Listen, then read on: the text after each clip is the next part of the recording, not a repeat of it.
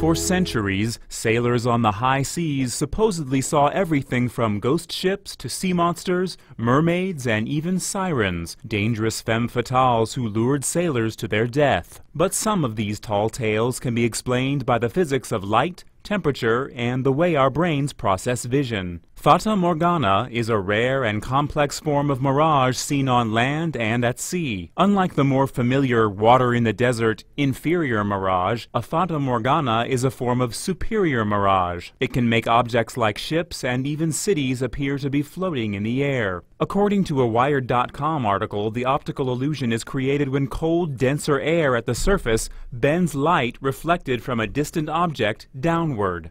But our brains still see the object as if its reflected light came in a straight path, so the object appears higher than it actually is, often floating in midair. The legend of the Flying Dutchman could have begun when sailors witnessed a Fata Morgana. I'm Matt Sampson, the Weather Channel.